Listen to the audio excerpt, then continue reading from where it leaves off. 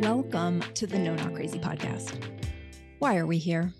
Well, because we've all had those experiences that make us question ourselves and sometimes even feel a little crazy. Invalidation is a pretty universal experience. Directly or indirectly, we are so often told what we should want, believe, or feel. We are told who we should be, or quite often, who we shouldn't be. We are told that there's something inherently wrong with us rather than there being something fundamentally right. So we battle self doubt, anxiety, confusion, or shame. We struggle to make decisions, or we make ones that don't work out too well. We don't feel at home in our families, our communities, or in our own skins.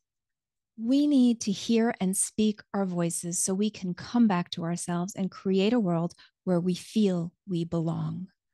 We need to begin unraveling this invalidation wound now.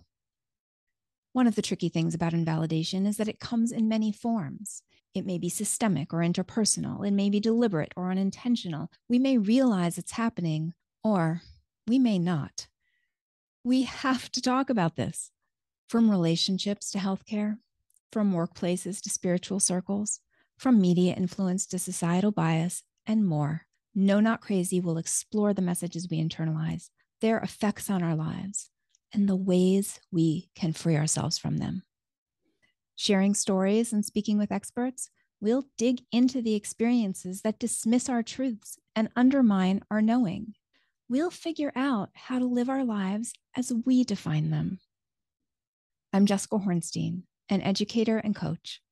Join me as we learn how to better validate ourselves and others so together we can all feel a little less crazy.